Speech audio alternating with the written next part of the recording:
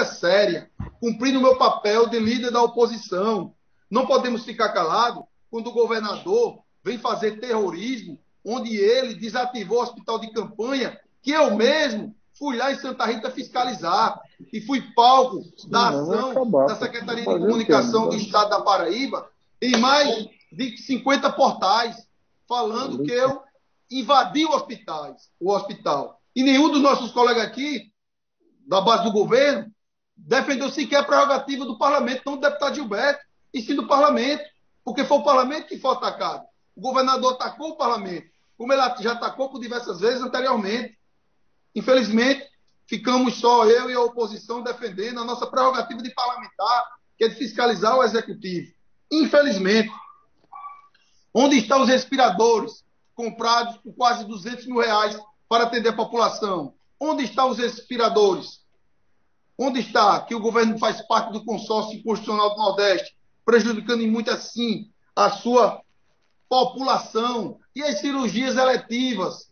que ninguém faz mais, ninguém fala mais cirurgias eletivas, porque o governador só fala em coronavírus, o que amedronta a população e não faz sequer a sua parte.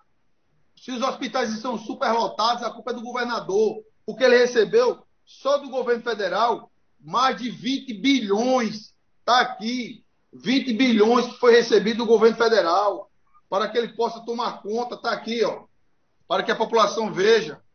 Está aqui, população paraibana Observe o que está acontecendo. Aqui é o valor que o governo federal repassou para o estado da Paraíba. Inclusive, o Tribunal de Contas do Estado, como eu falei anteriormente, não é aqui deputado de oposição ou deputado de, de situação, mas sim o Tribunal de Contas do Estado. Ele provou claramente que o governo não está tendo transparências com relação aos recursos. O que o governo fez com esses recursos? Só faz colocar a culpa no governo federal. Sequer assumem a sua responsabilidade. Todos nós observamos que o governador, inclusive colocamos nas nossas redes sociais, deputado Ricardo Barbosa, que é nosso papel de fiscalizar e denunciar. Ninguém fala sobre isso. O governador participou ativamente, como todos os senhores, da campanha prefeito de 2020. Todos participaram efetivamente. E o governador agora dá toque de recolher para os moradores do estado da Paraíba.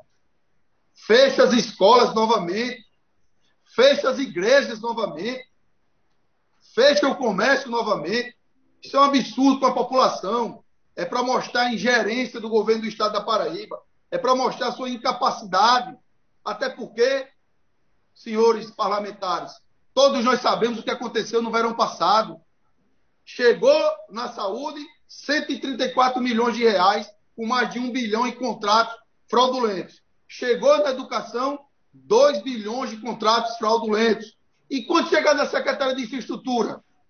Quando chegar na, Secretaria de Infraestrutura, é que os senhores vão observar o que é desvio de recursos públicos.